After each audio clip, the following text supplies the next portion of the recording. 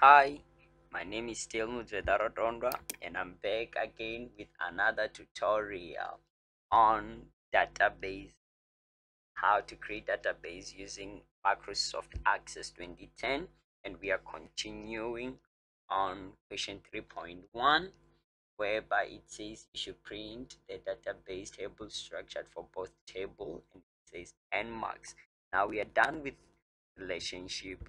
We're coming back to our tables and then okay. Okay now we're here and we want to print come to your database tool. You come to your database documenter click and then they said should is that employment and also oh what we call it? Department click department we click employment and you come to your option.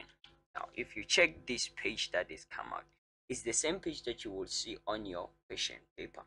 And it will say property should not be clicked on a relationship should be clicked in on the permission should not be clicked on. And here include fields it should be name.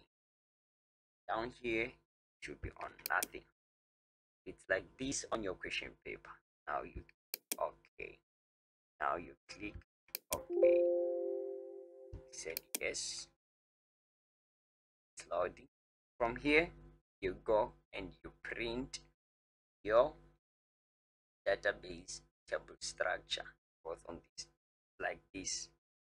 You print out this and then you get your 10 full marks now from here i'm coming back with how to do or to create a database query. Then later i'll come back with how to do database report.